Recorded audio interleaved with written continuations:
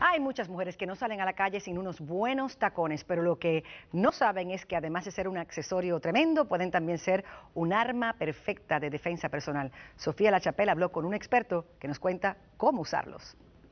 ¿Cómo no interesada? Me estás enojando. te voy a agarrar. Esos tacones no hacen nada. Te voy a dar un beso. Esa es la típica escena antes de un posible ataque contra una mujer. Pero ¿sabías que tu actitud mental, tu postura y tus tacones podrían salvarte la vida? Por eso la mujer tiene que saber a dónde pegar, cómo pegar y en los lugares que pegar para poder escaparse rápido. Es lo último en clases de defensa personal.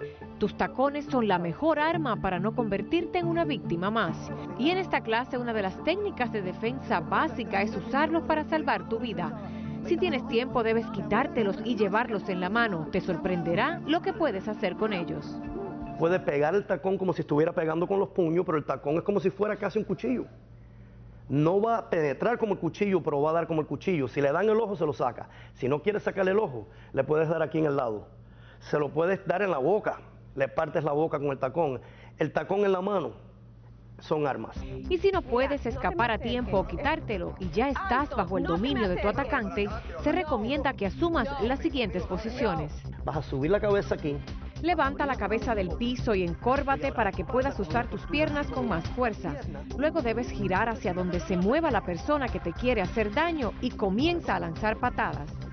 Y si tu atacante te agarra desprevenida, le entierras el tacón en el pie, en la rodilla y arriba. Voy a dar un beso. Según los expertos en defensa personal, los tacones son un arma contundente.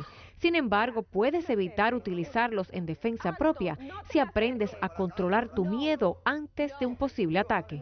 Si la mujer lo mira en los ojos, la mujer sabe proyectar la voz. La voz es tu primera arma, tu primera defensa. Tú no puedes hacer nada. ¿Me oíste? Te voy a agarrar.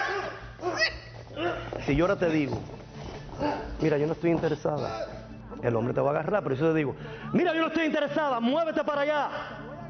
Se ve que es una mujer que tiene poder.